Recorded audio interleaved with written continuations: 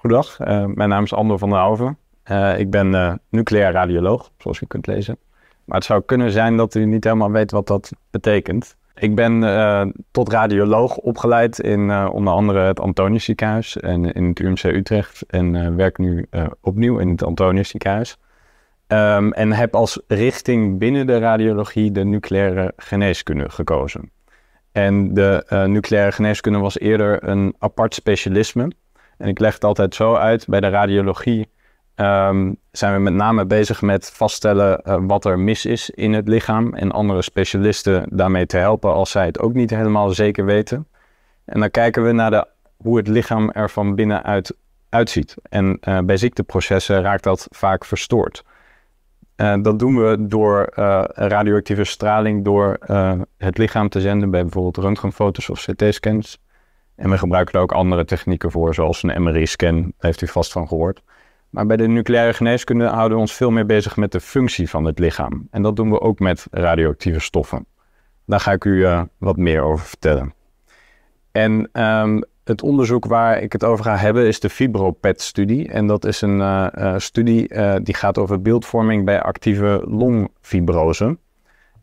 en um, dat is een hele innovatieve studie waar we ontzettend blij mee zijn dat we steun van u daarvoor hebben gekregen dat we die mogen gaan uh, uitvoeren.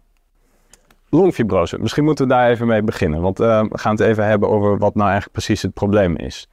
Um, longziekten komen in uh, heel veel verschillende vormen voor. Um, en um, één grote categorie van longziekten zijn de zogenaamde interstitiële longziekten.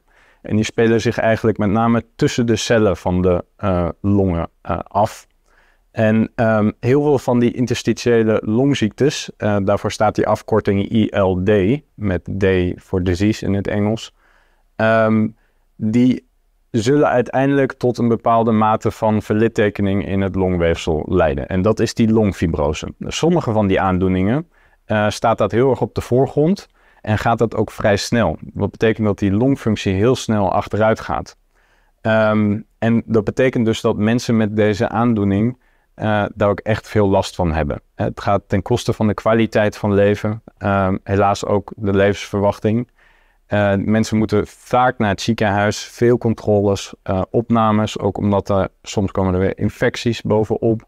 Um, en dat is ook een grote belasting voor de naasten van de patiënten. Um, uiteraard voor de zorg, zorgmedewerkers uh, en de maatschappij in zich heel. Het is een hele ernstige aandoening. Um, en uh, zoals net bij de introductie uh, al aangegeven door Michiel, zijn wij een van de um, expertisecentra voor interstitiële longziektes in het Antonius ziekenhuis. Dus zorgen wij heel graag voor deze mensen. Um, ik had het net al heel eventjes over littekenvorming in die longen. Uh, maar hoe komt dat nou? Uh, er zijn cellen die heten fibroblasten. Uh, en die zorgen voor overmatige depositie van een stofje dat collageen heet in die ruimtes tussen die cellen. Dat leidt tot een verlittekening en trekt aan onder andere de luchtwegen in de longen, waardoor die minder goed kunnen functioneren. En als je denkt aan littekenweefsel, dan denk je vaak aan iets wat, waar je toch niet meer zoveel aan kan doen. Een soort eindstadium, een uitgeblust proces. Maar dat is het niet altijd. Uiteindelijk zullen veel van deze mensen dat stadium wel bereiken. Maar daar gaat een heel lang proces aan vooraf, waarin je waarschijnlijk nog iets aan die ziekte kan doen. En dat is wat wij dus actieve fibrose noemen. En dat is eigenlijk iets waar we misschien in het afgelopen decennium iets meer over zijn gaan nadenken in de zorg en in de wetenschap. En die wordt dus gedreven door die cellen die fibroblasten heet. En in een deel van de patiënten die dus um, zo'n progressieve longfibrose hebben, uh, spelen ook andere cellen een rol. En dat zijn ontstekingscellen. Die kunnen die fibrose verergeren. En in sommige van die uh, uh, vormen van longfibrose spelen ze zelfs de voornaamste rol. En spelen die fibroblasten een veel minder belangrijke rol. Um, nou weten we al uh, uit ervaring een aantal jaar dat we uh, mensen met een uh, specifieke vorm van longfibrose kunnen behandelen met fibroseremmers. Maar dan moeten we dus zeker weten dat die fibroblasten de grootste boosdoeners zijn. Want dat is waar we op aangrijpen. En dat weten we in een relatief kleine groep met een hele ernstige aandoening die idiopathische pulmonale fibrose heet, afgekort als IPF. Ehm, uit studies is gebleken dat dat uh, uh, ervoor kan zorgen dat met name eigenlijk de verslechtering van de longfunctie behoorlijk afgeremd wordt in de mensen. Helaas kunnen we die longfibrose niet genezen. Nou is daarna het een en ander veranderd. Er zijn een aantal extra studies gedaan waarin ook in wat andere vormen van longfibroses die fibroseremmers zijn uitgeprobeerd. En daar bleek eigenlijk uit dat een uh, best een aanzienlijk deel van de patiënten daar ook baat bij had. Dus er is een soort indicatieverbreding in dit speelveld gekomen. Waarbij het nu ook mogelijk wordt in andere vormen van longfibrose die mensen te behandelen met fibroseremmers. En dat heeft eigenlijk ook een soort kantelpunt uh, betekend voor hoe we kijken naar longfibrose. Want eerder deelden we het op in hele specifieke vormen van fibrose. Nu kijken we meer naar hoe gedraagt die fibrose zich. En als we dus hebben over uh, dat in een relatief korte tijd mensen een snelle achteruitgang laten zien van de longfunctie. En je ziet op bijvoorbeeld CT-scans van de longen dat er fibrose zichtbaar is. Dan kunnen we al die mensen met verschillende vormen van fibrose samen progressieve pulmonale fibrose noemen. Die PPF die daaronder staat. Uh, en al die mensen komen nu in potentie in aanmerking. Dat is een veel grotere groep voor behandeling met die fibroseremmers. Maar het probleem is bij die mensen, we weten niet meer wie de boosdoeners nou eigenlijk zijn. Is het met name de ontsteking of zijn het die fibroblasten? En dat is een heel lastig dilemma. Um, helaas komt dat ook echt wel wekelijks aan de orde. Um, ehm, wij hebben dan een multidisciplinaire bespreking, uh, waar bijvoorbeeld de longartsen, uh, de radioloog, uh, soms de nucleaire geneeskundige, een heleboel verschillende specialisten zitten bij elkaar. En die discussiëren over wat nou de beste behandeling is voor nieuwe patiënten met longfibrose. en dan speelt dit dilemma zich eigenlijk steeds vaker af dat de longarts uh, en de collega's eigenlijk niet helemaal zeker weten of we patiënten nou het beste met ontstekingsremmers kunnen behandelen of fibroseremmers. Nou, wij denken dat we daar iets aan moeten doen en dat beeldvorming een uitkomst kan bieden. Er zijn namelijk ook geen andere manieren om dat nu te bepalen. Hè. Dus met bijvoorbeeld bloedonderzoeken wordt wel veel wetenschap naar gedaan, maar er is gek genoeg niet een goede marker om ontsteking van actieve fibrose te onderscheiden. Hier ziet u een uh, CT-plaatje uh, van de longen. Uh, ja, pointer doet het niet, dus ik loop er maar gewoon eventjes naartoe. Ehm, het zwarte gedeelte wat u hier onderin ziet en daar, u moet zich even voorstellen dat u tegen de voeten van de patiënt aankijkt, maar die ziet u niet. En dit is een doorsnede door het lichaam. Dus het hoofd zit aan die kant van het scherm, voeten daar, dat is links en dat is rechts. En die zwarte gedeeltes, dat zijn de longen, maar dit zijn geen normale longen. Hier zie je de luchtwegen en die horen in dit gedeelte veel uh, nauwer te zijn, maar die zijn allemaal verwijt. En die witte gedeeltes daar tussenin, dat is de fibrose. En die trekt aan die uh, luchtwegen. Dit is een voorbeeld van een patiënt met zo'n ernstige IPF. En op zo'n CT-scan kijk je eigenlijk naar uh, dus hoe het lichaam eruit ziet. Maar dat, je ziet niet een actief proces. Je ziet een soort van schade die al aangericht is. Um, dit is een ander voorbeeld waarbij eigenlijk de afwijkingen veel diffuser zijn en waarbij de witte gedeeltes afwijkend zijn, hier ook in de andere long. En dit is een voorbeeld van een ontstekingsgedreven uh, longfibrose. Maar helaas hebben we ook heel vaak zo'n voorbeeld. Daar zit een beetje tussenin. Zien we kenmerken van allebei en weten dus niet zo goed welke vorm het nou is. Nou, nucleaire geneeskunde kan daar misschien iets in gaan betekenen. Um, en we hebben al heel veel ervaring met PET-CT's. Misschien heeft iemand van u, ik hoop het niet, maar uh, om welke reden dan ook ooit een PET-CT ondergaan of heeft u, kent u iemand die dat heeft gehad, dan is de kans groot dat dat met een stofje is geweest die FTG heet. En dat is eigenlijk radioactief gelabelde suiker. En um, dat doen we bij uh, bijvoorbeeld uh, kanker, maar ook ontstekingsziekten en infecties. Um, dat zijn namelijk hele uh, ziektes met een hoge stofwisseling. En bij veel stofwisseling heb je meer energie nodig. En dat haalt het lichaam het liefste uit uh, glucose, suiker. Um, en we weten dus dat we uh, dit soort imaging heel goed kunnen doen vanuit de nucleaire geneeskunde.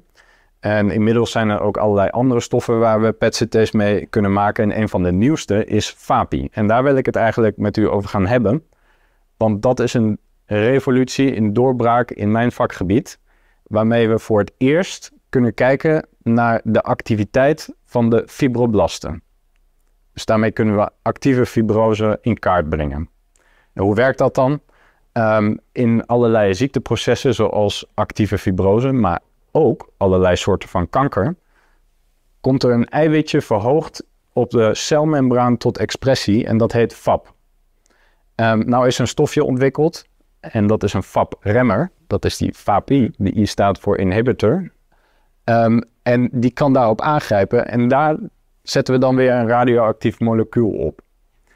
En dat spuiten we via een infuus uh, in de bloedbaan bij de patiënt. Dat gaat specifiek hechten op alle uh, cellen die dus die FAP verhoogd tot expressie brengen. En in dit geval is dat dan dus de longfibrose.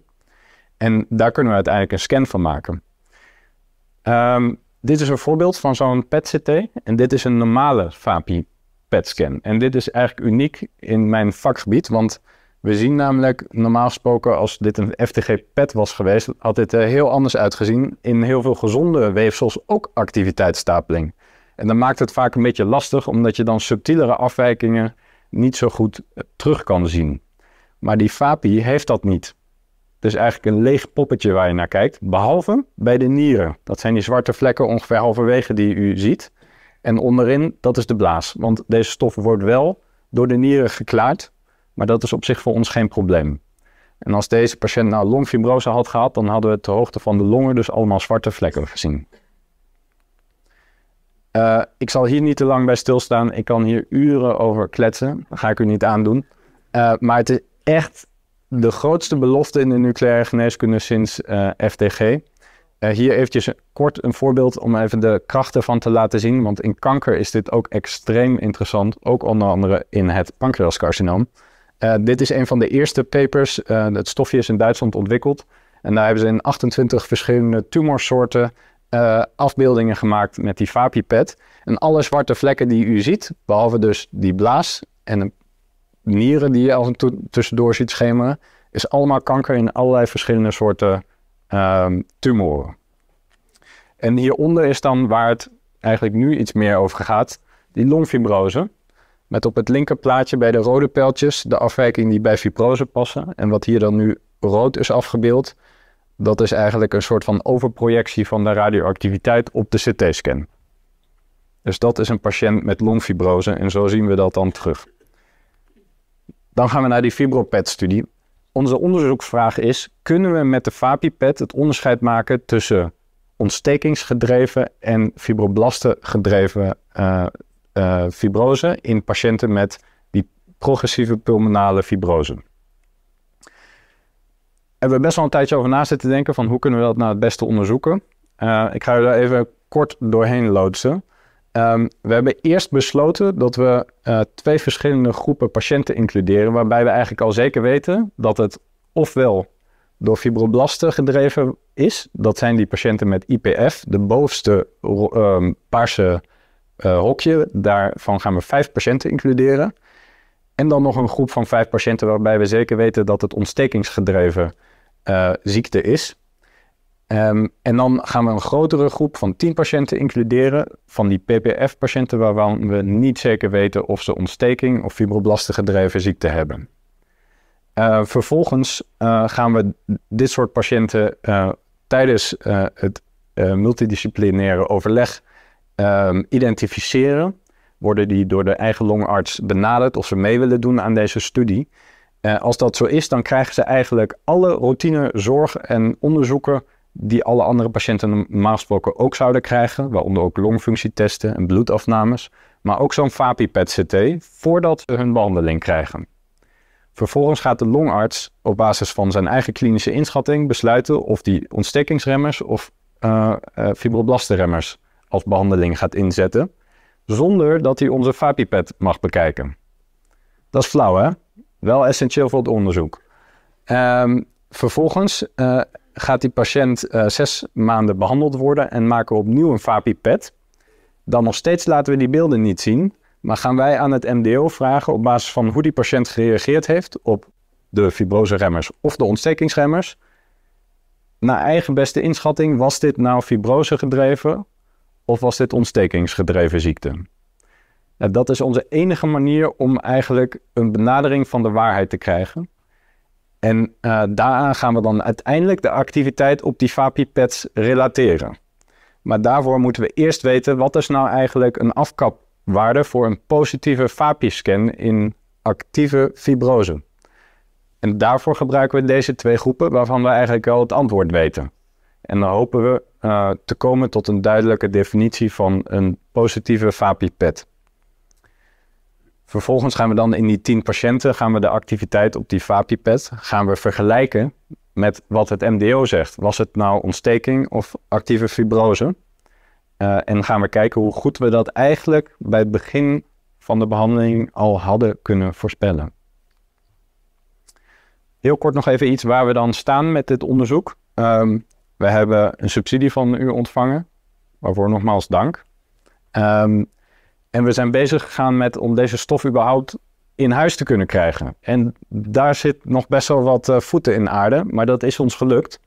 Uh, dus we hebben overeenkomsten uh, um, gemaakt met de leveraar van dat FAP-eiwit. In sommige centra duurt dat twee tot drie jaar. We hebben het nu in zes maanden voor elkaar gekregen. en um, we hebben een productiefaciliteit in uh, Alkmaar uh, zover gekregen dat zij voor ons uh, dat VAPI-eiwit gaan koppelen aan een radioactieve stof. En dan volgens alle um, regelgeving uh, netjes gaan transporteren en per spuit bij ons gaan afleveren wanneer we die nodig gaan hebben. Het onderzoeksdossier is bijna compleet op één document na. Um, we hebben een studieprotocol en we hebben van de Raad van Bestuur een verklaring gekregen voor geschiktheid van onze onderzoeksinstelling om dit onderzoek te gaan doen. Dus de volgende stap is uh, indiening van het onderzoeksdossier uh, bij de METC, de Medische Ethische Toetsingscommissie. En als die groen licht geeft, dan gaan we starten. Ik sta hier nu, maar ik doe dit zeker niet in mijn eentje. En uh, we, er zijn ook meerdere disciplines bij betrokken. Uiteraard de longgeneeskunde, uh, en meerdere van mijn collega's van de nucleaire geneeskunde. Maar we werken dus ook nauw samen met de radiologie. Um, en met de ziekenhuisapothekers van de klinische farmacie. Dat was wat ik u in ieder geval wou uh, vertellen. Maar ik ben benieuwd of u vragen heeft.